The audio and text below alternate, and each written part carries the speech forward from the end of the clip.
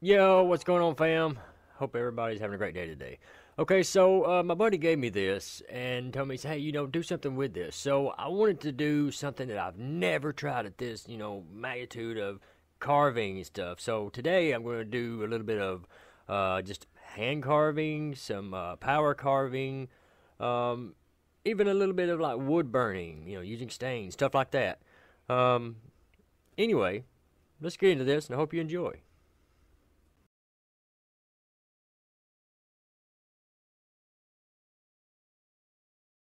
Okay, so on this part here, I just took my old pocket knife, right? And um, I just wanted to shave off some of the parts that will be stained, okay?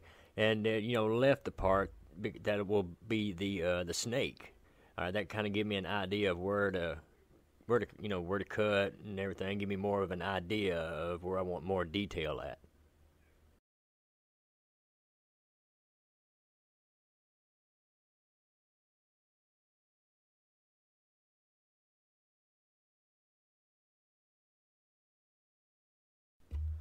Okay, now right here, you know the shavings are getting everywhere, so I kind of went around back.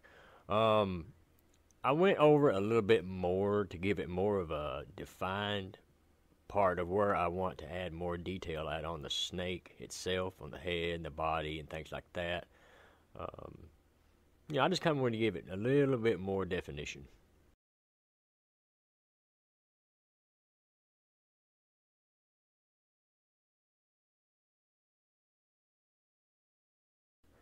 Okay, so on this part, I got everything shaved off.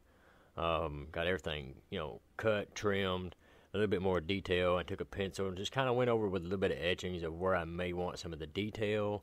And right here's where I start some of the power carving with my Dremel. You know, I had limited tools, but hey, you know, the talent and the awesomeness is in you. So I'm just going to go over it and give it a little bit more detail and more defined. Now right here, as I'm using the uh, the rotary tool, Dremel, whatever you want to call it, um, I'm going over it, kind of kind of shaping up, uh, you know, where I want more detail, you know, kind of things like that, where the you know the head's going to be this, where the head curls around, uh, give the body itself where it wraps around a little more detail, and uh, just shaving off a little bit of things here and there. Okay, now that I've got a lot of that done, what I want to do now is switch over to the wood burner. And uh, I've got a little tip that came with the kit and everything, and I just using that to go over the body a little bit, kind of give the scale look. Alright, now it's starting to come out quite nice. Just kind of went over all of it with the tip, of you know, to make the scales, and a little bit of the head, you know, just a little bit more detail. Next step. Now right here, I went over with uh, a little bit of you know this and that and carved in a little more detail with the eyes and uh, give the head and face a little bit more of a you know more detail on that. And you know another step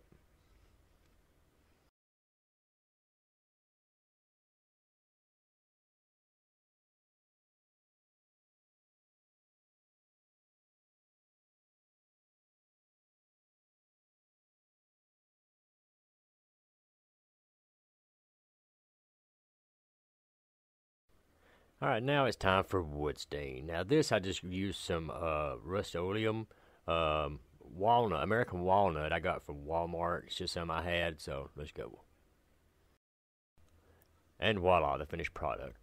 With limited tools, you can still make something really cool. No, it's not perfect, but it's you can still make something really cool with limited tools. What you got to work with. The awesomeness is in you.